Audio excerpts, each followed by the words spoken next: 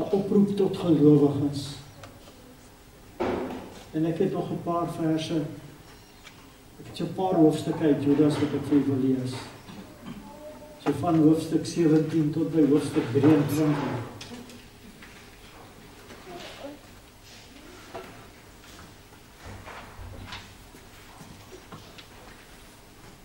En, en dit is eintlik so 'n kosbare deel. Ek lees uit die Nuwe Lewende Vertaling.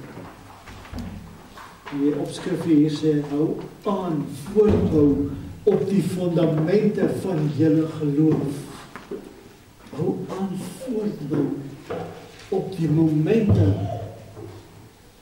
die fondamente van julle geloof. Sê julle geliefdes moet egter die woord wat die apostels van as Here Jesus Christus lank terug gesê het goed onthou. Hulle het vir julle gesê dat daar in die eindtyd spotters sal wees wat hulle lewe inrig volgens hulle eie goddelose menslike drange. Dit is juis daardie mense wat verdeeldheid veroorsaak. Hulle lewe lewe leef volgens die natuurlike drange en het nie die gees in hulle nie. Maar julle geliefdes moet aanhou om julleself op te bou op die fundament van julle allerheiligste geloof. Hou aan om te bid terwyl julle heg verbind bly aan die Heilige Gees. Hou julle liefdesband met God in stand. Verwag die ontferming van ons Here Jesus Christus met die ewige lewe as einddoel. Die wat nog besluitloos is, moet julle met ontferming behandel. Red ander deur hulle uit die vuur te ruk. En nog ander moet julle ontferming betoon. Maar wees uiters versigtig dat julle nie ook deur hulle sondige liste besmet word nie. Ja, verafskied. Hemelvader, dankie vir môre om net uit hierdie paar verse in Juda te lees en of Judas en en net sommer so opgebou te voel net by die deurlees daarvan. Ons eer U daarvoor vanmôre. Here wil U vanmôre met elkeen van ons op 'n besonderse wyse. Ek bly net by U en ek spreek dit van U in Jesus se naam.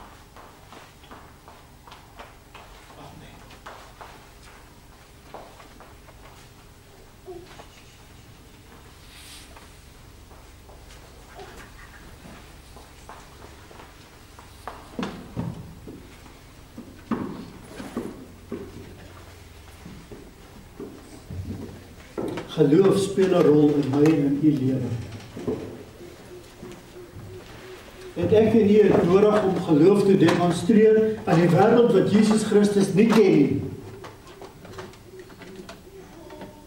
En die kerk het nodig om geloof te demonstreer aan 'n wêreld wat dit nie ken nie.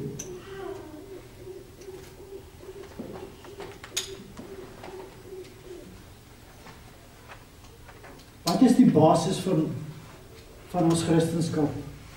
Is geloof. Want sonder geloof is dit onmoontlik om God te behaag. En daar soveel dinge wat ek en u in geloof vir onsself moet kom toeëien. In geloof ons redding ons eie kom maak. Ons kan maklik sê as ons God gesien het, sou dit vir ons baie makliker gewees het. Is dit so? Nee, ek glo nie. Wat is geloof? Geloof is eenvoudig mense. Dis om 'n lewe in afhanklikheid van God te leef. Ek en u is te maklik in staat om te kyk wat's in ons bankrekening.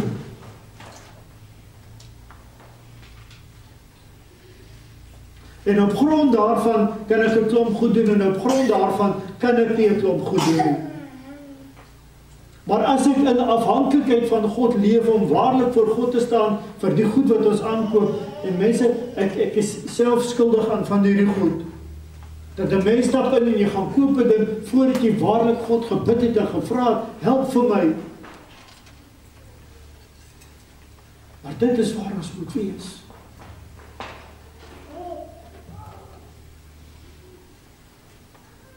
Wat is die grootste ding waarmee kerke sukkel?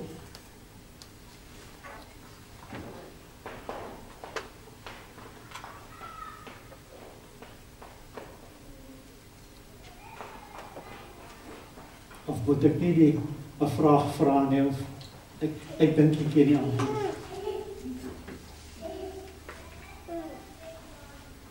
Kry vir sakke, hy sal geld uit julle sakke uitbring.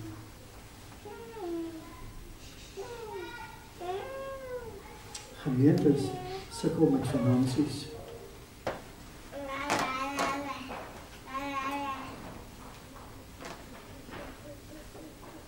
Gemeentes het ook nodig om voor God te staan om in afhanklikheid van God te wees vir hulle finansiële voorsiening. Ons moet so maklik na mense kyk en sê dis mense wat die finansies vir die kerk voorsien. Mense as God nie in mense se harte werk, dis daar geen finansies in kerk wees nie. Ons moet net prioriteite regkry, né? Vir God staan. En vir die gemeente se behoeftes. Gerard het Woensdag aand in ons vergadering met die sinodale kommissie wat oor Woensdagmiddag aan die heel donderdag tot en met Vrydag af donderdag aand 10:00 gegaan het. Gerard net weer so toepaslik die versie aangehaal wat ons so vashou in hierdie gemeente aan wat sê soek eers die koninkryk van God en sy geregtigheid en al die dinge sal vir julle bygevoeg word.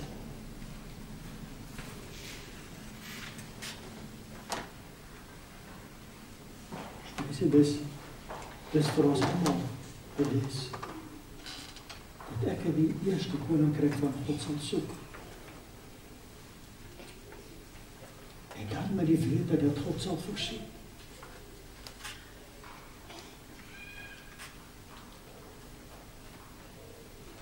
staan vanmôre Here, wie weet hoe my hart voel vir my hart wat oorloop van dankbaarheid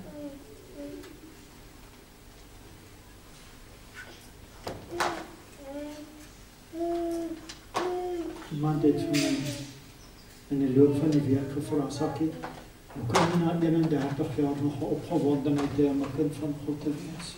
Om 'n predikant in 'n gemeente te wees? En kom ek sê vir julle, daar was moeilike dae. En daar was dae wat ek gevoel het ek moet wegloop en daar was dae wat ek spyt was ek het nie weggeloop nie. Maar ek is hier. Ek is hier omdat God my geplaas het. En ek sien dat dit anders sê, ek is 3 en 'n half jaar in 'n gemeente en ek is moeg. Ek kan nie meer nie.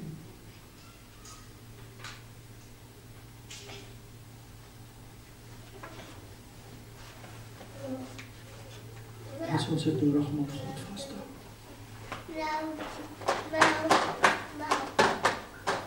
Ek wil vir julle sê ek vanmôre hier voor u staan, dan is ek baie meer opgewonde om God se pad te stap as 31 jaar terug, of 2 of 33 jaar terug.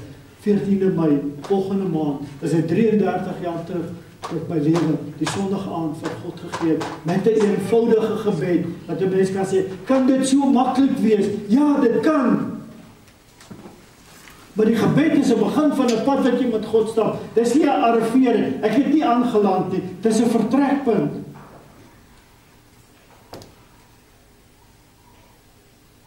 En as ons na Judas kyk, dan sien ons Judas het 'n pad met God gestap. Heel moontlik familie van Jesus. Wil nie op die detail daarvan ingaan nie. En hoe langer Judas die pad van God gestap het, hoe meer opgewonde het Judas geword om die pad van God te stap. En ons sien hier in die einde van die Judasbrief kom hy en daar's opgewondenheid in Judas se brief. Hy kom sluit hierdie kort brief af, maar met 'n positiewe en 'n kragtige impak en 'n oproep tot kinders van die Here.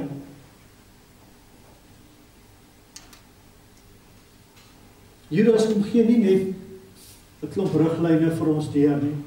Hy sê nie hierdie is moedse minies wat jy moet doen nie. Hy gee vir ons aanwysings oor wat ek ek en u in ons geestelike lewens moet toepas. Wat kan vir ons help om die pad van God te stap? Mense, en as ons met daardie gedagte gaan en daardie uitkyk na na die brief van Judas kyk. Jy kan Judas in 5 minute deurlees. So jy kan hom in 'n uur tyd 12 keer deurlees.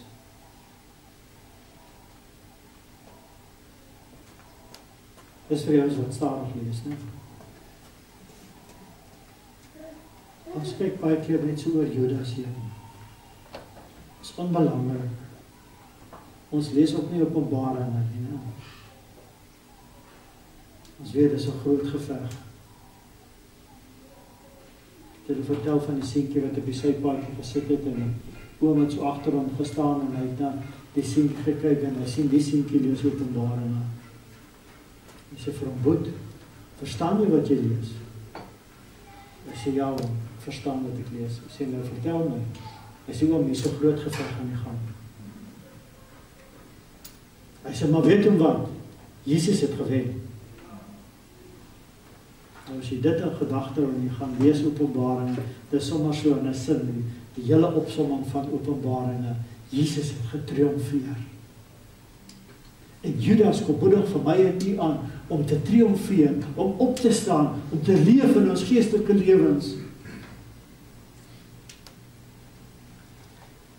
Judas spoor mense aan om die pad van God te stap. En hy kom bemoedig hulle.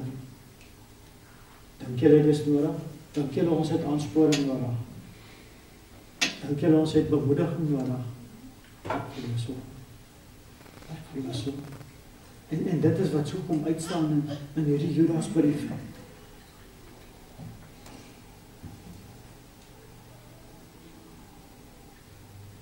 Judas se hart is dat ons 'n intense persoonlike verhouding met God sal hê. Dit is my begeerte ook. Ek kan vir u so ver help met my beperkte vermoëns. En en dan is daar die wil wat in u hart is om die pad van God te stap wat moet oorvat. 'n Baba bly nie op bottel drink nie. Daai bottel is dan nie meer genoeg nie. Dan begin hy vaste kos eet. En dan kom hy agter maar sy maat om al die lelike slegte groente gevoer te het. Hulle noem dit peretjie soos 'n groter word sê daar's niks beter as 'n stuk braai vleis nie. Iets van dit is vervat in 'n mens se geestelike lewe ook, né? Ons kan nie net by melk bly nie. En moet groei in ons lewens wees om by die vaste kos te kom wat vir ons kom opbou, wat vir ons kom uh gesond maak Ek gaan net 'n paar van die elemente wat Judas hier deurgegee het in u voorhou.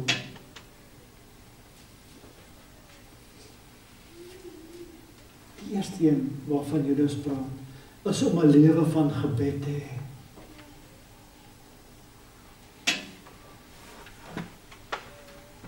Hoeveel Christene bid regtig?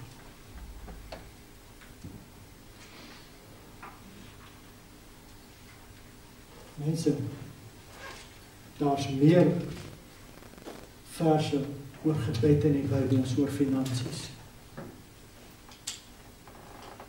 So wat is ons probleem? Is ons probleem finansies of is ons probleem gebed? Ons hoef nie slim te wees om hierdie antwoord vir onsself te kan uitmaak nie, né? Dis gebed om voor God te staan. Pad van geloof saam met God te stap en dit begin by gebed. 'n lewe van gebed sê dat ek is afhanklik van God.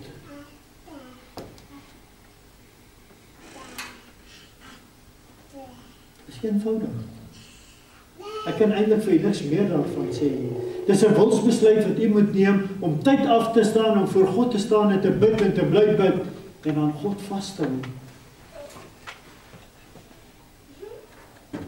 Anders gaan ek in die opstaan en ons gaan in ons eie krag lewe sonder dat ons nodig het om geloof te hê. Wat gebeur in gebed?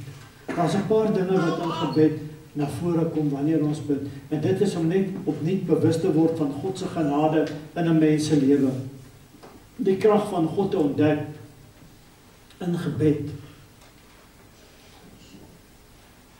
Wysheid. Wat het Salomo gevra? Het hy geld of wysheid gevra? Sy Here gee vir my wysheid. En sy wys waar ek in iemand wees om God te bid vir wysheid. Die res sal God voorsien op sy manier. Maar bid is die sleutel. Jy kan Romeine 8 vers 26 en 27 gaan lees. Slotsom van dit is jy sal nie alleen wees in jou gebedslewe nie. God is daar met jou. Heilige Gees is daar met jou. Dat ons in die krag van Judas praat van die krag van die Heilige Gees was nie of nie of of net daar staan en sê ag wat is hierdie gebed dit's maar net 'n gebed ag ek my gebede gaan in 'n geval nie verby die plafon nie mense sê reën met die duiwel voor jou hou God verhoor gebede ek wil vir sê miskien het u nodig miskien as ek vanmôre vra Watter van u gebede het God in die afgelope week verhoor? Nou kan jy sê sak in my jy's nou groot man.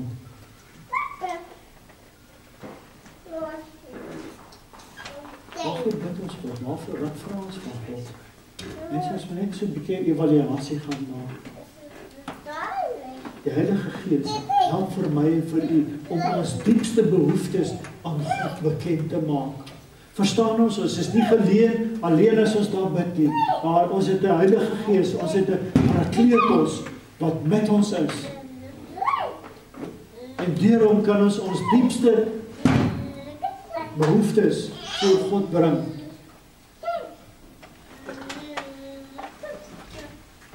En dit help vir ons is selfs al voel ek ag maar hierdie was maar 'n karige gebed. Maar die feit is ek het tyd vir God spandeer. Ek het tyd in God se teenwoordigheid spandeer en God het vir my die Heilige Gees gegee om vir my te help. En dan wat gebeur dan? Ons het 'n voorspraak by God in die naam van Jesus Christus. Mense soos hierdie twee faktore net bymekaar sit en ons sit dit in ons gebedslewe. Weet julle wat 'n kragtige gebedslewe het ons eintlik? Maar dit vat geloof om dit vir ons te kom toeëien om te sê Here help vir ons. Miskien vanmôre te kan sê Here, ek verstaan dit vir eerste keer. Ek het nie maar net op my knieë voor God gestaan en uh, toe ek opstaan sê ek het maar net 10 minute gebid. Dis 10 minute wel gespandeer in die dag. En as jy 30 minute kan spandeer, soveel te beter. Ja, as mense wat langer sien nie. Maar tyd moet God gespandeer. God het daar gebede gehoor. So dit is die eerste ding wat Judas vir ons kom aanmoedig as 'n kind van God om nie jou gebedslewe af te water nie. Die belangrikheid daarvan te besef en aan te hou daarmee. Die tweede ding wat Judas vir ons kom uitspel is om 'n lewe van liefde te leef.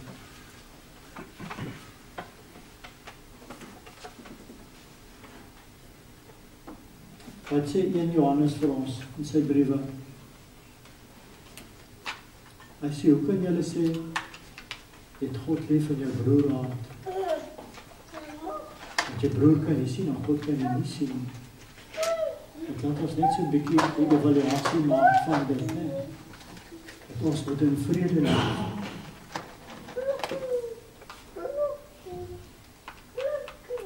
Ons moet leef.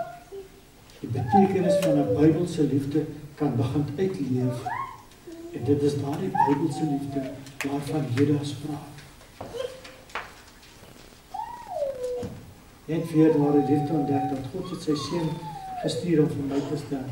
En dat jy goed is en nice is en alles reg doen. Allermins. En dat God vir jou omgee. Kom maar sê sommer vir liefde. As ons na liefde kyk, dan kan ek nie anders as om aan Jesus se liefde te dink vir my en u. En wat het uit Jesus se liefde vir ons gekom? Opoffering. Hy het 'n offer gebring vir my en vir u. So liefde gaan 'n offer van u vra. Hoor wat ek vir u sê vanmôre. Om 'n liefde uit te reik na mense toe gaan 'n offer van u vra. 'n ander term vir dit gebruik dat jy self opoffer. Dis wat liefde is. Eenvoudig, nie ingewikkeld nie. Liefde is 'n is 'n daad van dit. En as mense doen sommer net te onthou, vars in ons geheue te onthou. So pas uit Paasnaweek uit dat Jesus het sy lewe vir my opgeoffer. Liefde. En dan kom ons terug en sê ons het nodig om mekaar in liefde te dien. Mense en ek sien dit in gemeen gemeentes. In die meeste gemeentes is dit vir mense 'n struikelblok om mekaar in liefde te dien. Of mekaar in liefde om te gee. Dit is makliker om van mekaar te skinder. Dit is makliker om iets negatiefs van iemand te sê as om iets opbouend te doen of om te sê ek sien hierdie broer of suster struikel, laat ek gaan help want dit vra iets van u. Dit gaan 'n inset vra. sê Jesus nie gaan dan en tree so teenoor iemand anders op nadat hy dit vir ons gedoen het. Hy sê gemeente 'n familie. 'n Familie van Jesus Christus. En die woord van God is eenvoudig. Hy sê as een lid ly, is dit so goed dat jy almal ly. Ons leef in 'n tyd waar ons op onsself aangewese is, solank ek net nie swaar kry nie, solank ek net nie moeilik met my gaan dan is ek oral. Vergeet die res.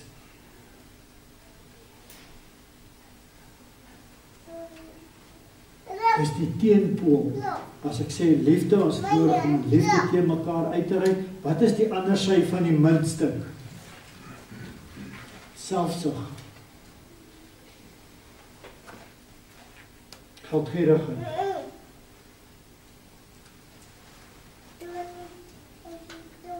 deur liefde uit te leef, leef ek en jy die beeld van Jesus Christus teenoor mense uit.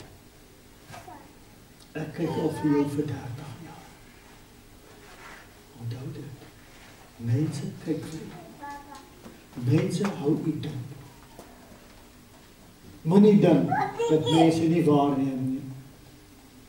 Omdat jy sê ek is 'n wedergebore kind van God.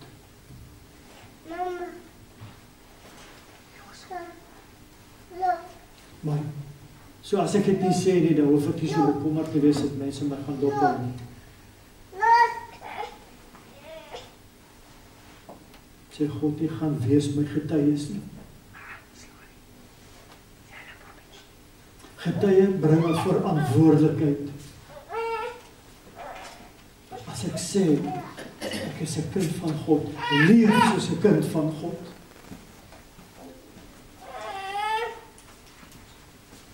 Leef 'n lewe van verwagting en dis die derde punt wat wat Judas vir ons hier kom uithaal. Ek het nie met 'n verwagting hê. Te veel mense leef maar net omdat leef leef is. Ons leef nie maar net nie. Ons moet lewe met 'n verwagting. Ons moet lewe met 'n opgewondenheid in ons hart. As ek sê ek is 'n kind van God,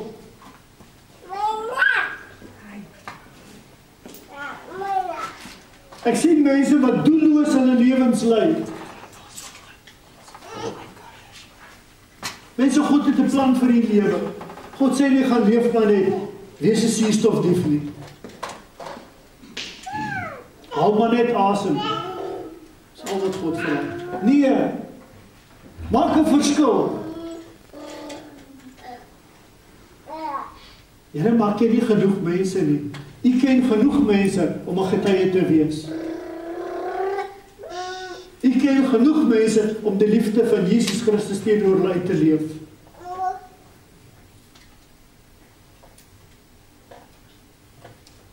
Iemand wat leef met 'n verwagting, verwag die tweede koms van die Here Jesus Christus.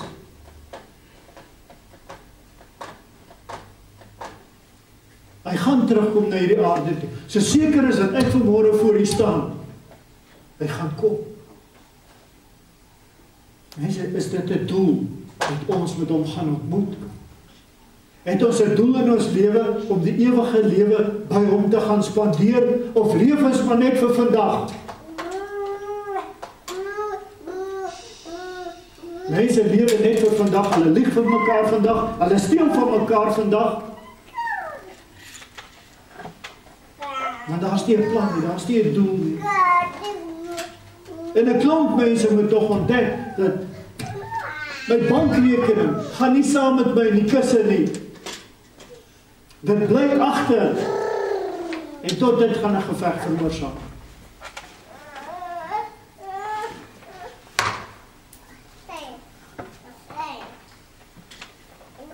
Ongelowige gaan geoordeel word. Seker is dit ek vanmôre ook hier staan. Want God se woord sê so.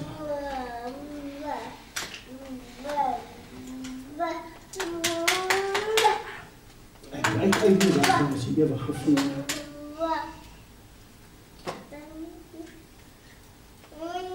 Maar dat ek in jou lewe lei van barmhartigheid, van liefde, uitleef teenoor mekaar omdat ons 'n verwagting het dat hy gaan weer kom en hy gaan my kom haal.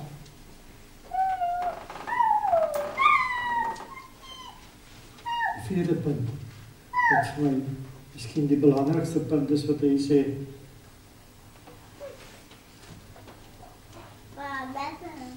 om mense uit die vuur uit te red.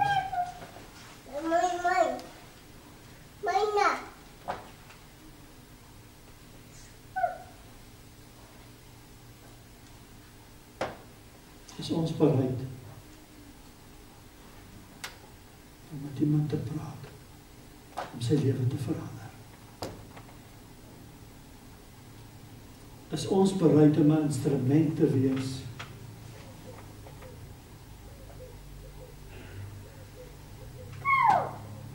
om deur God gebruik te word om mense se siele te red. Kan jy onthou wat ek gesê het in Mars sê? I run a rescue shop. Meter from Hell's Gates. om mense soos brandhout uit die vuur uit te ruk.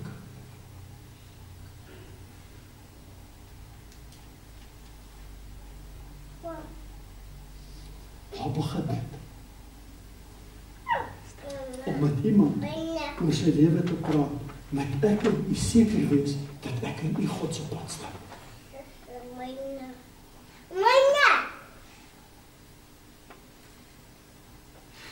Anders dan gaan ek eerstens nie die vrymoedigheid hê om met iemand te praat oor sy saligheid nie. En is dit nie die probleem waarmee die kerk sit nie? Solank die dominee net oor liefde en vergifnis spreek, is die saak reg.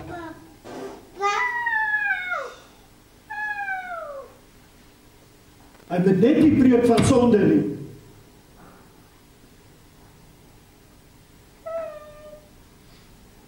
Dis om die kerk in die toestand is wat hy is. Jy kan nie iemand anders help as jy op daai persoon se pad is nie. Een blinde kan nie 'n ander blinde lei nie. Is my vraag vanoggend, Maak reg vanoggend. Maak reg sodat God vir u kan gebruik. Maak reg dat jy 'n instrument in God se hand kan wees. Ja, ons gaan foute maak. Ek sê nie wees volmaak nie. Stap God se pad. In afhanklikheid van God. Met geloof in die hart. En met erns. As ons mense wil help, het ons nodig om geloof in ons harte te hê. Geloof dat iemand God in iemand se hart kan ingryp. Al is dit 30 jaar later.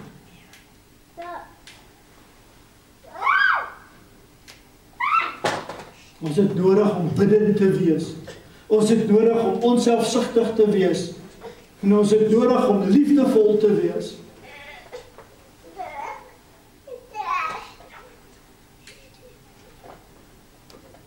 En dan kan ons 'n lewe lei met verwagting omdat Jesus terug gaan terugkeer op die wolke. Dink van God. God roep ons op. God roep ons op. Om 'n verhouding met hom te hê. God roep ons op om reg te maak. God roep ons op om 'n lewe van oorvloed te lewe.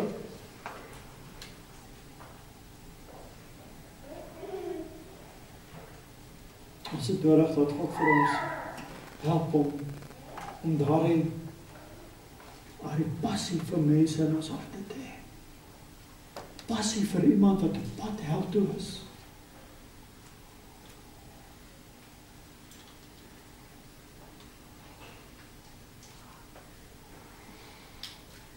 Ek het gesien jy is betrokke regse politiek. Ek het gesien hoe jy daardeur gegaan. Ek het gesien waar jy vandag is. 30 jaar.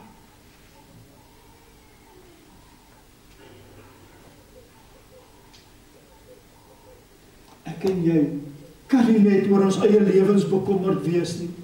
Ons het nodig om oor ons medemens se lewens bekommerd te wees en hulle nodig om te sien dat ons bekommerd is oor hulle. Hulle nodig om te hoor dat ons bekommerd is oor hulle. Selfopoffering. Ek is bekommerd solank ek net iets van my vra nie. Nee, dis nie waarvan ek praat nie. Hierdie bekommernis het ook drie aspekte is is om onsself te ontferm. Ons net weer vanoggend op nie te besef hoe het God hom oor jou ontferm. As jy hier vanmôre sit en jy het 'n getuienis van wedergeboorte, 'n getuienis van redding, dan is dit omdat God vir jou omgegee het. Omdat hy 'n hart vir jou gehad het, omdat hy vir jou lief is. En dan het ons nodig om dit te vat om te sê, dis 'n wêreld wat dit nie ken nie. Here gebruik my om so impak te maak. Ons moet liefdevol wees. En sommige mense moet jy met takt hanteer en ander mense moet jy soos brandhout uit die vuur uitdruk en reguit wees. Maar God sal ook vir u die wysheid en die deernis en die kennis gee hoe met elke persoon individueel te werk. Dan sê Judas, wees versigtig. Ek dink vriendskapsevangelisasie is 'n model waarmee die kerk kan voortgaan. Mits die vriendskap wat ek met 'n persoon het, my nie saam met hom in die hel en aftrek nie.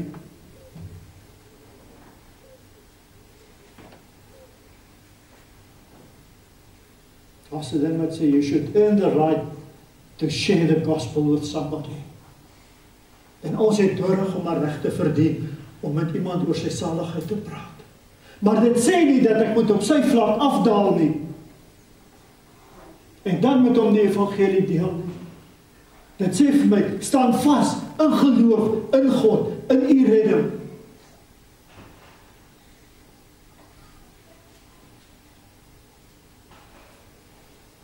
Ons is deur 'n jaar of meer as 'n jaar wat die grootste epidemie wat in mense jeugennis is en dit is COVID-19.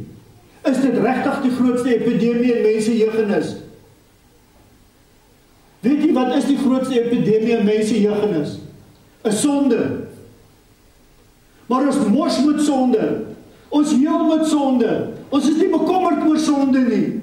Maar ons is bekommerd oor COVID-19. Mense het ons nie nodig om net die twee goed langs mekaar te sit en net weer opnuut 'n evaluasie te maak en sê wat is die effek van COVID-19? Ek kan miskien my lewe verloor. Ja, dit is 'n realiteit. Maar sonde gaan ek ook my lewe verloor, maar ek gaan in die hel wees. Wees versigtig. Moenie met sonde heel nie. Die uiteinde daarvan is die dood en dis die ewige dood.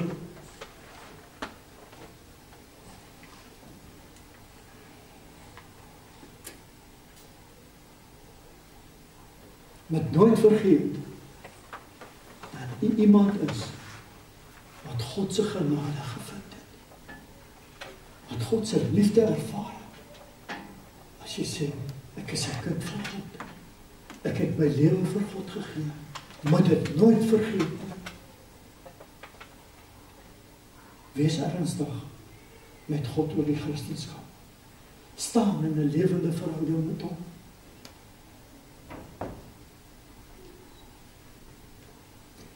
Sluit af met twee gedagtes. Lewe lewe wat God verheerlik. Is eintlik wat Judas vir ons so deurgee, né?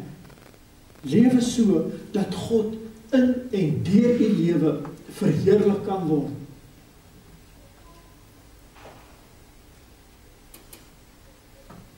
Lewe lewe in afhanklikheid van God. Hy sê maak dit vas in jou hart vanmôre. Ek kom plek dit by U. Hemel Vader. Nee, dankie vir hierdie oggend. Dankie vir die voorreg dat ons tyd in die woord kan spandeer, hier saam kan wees en Here dat ons vanmôre mekaar kan aanmoedig en inspireer om U pad te stap. Here, ons het tekortkominge. Maar help U vir ons. Lei dit by U. U ken vanmôre elkeen se hart. U ken vanmôre elkeen se behoefte. U ken vanmôre elkeen se uitdaging. Here help vir ons om U ook in dit te ken. En dat ons leer ons verhouding met U groter is as die uitdagings wat ons het. Ek bid dit vanmôre in Jesus naam.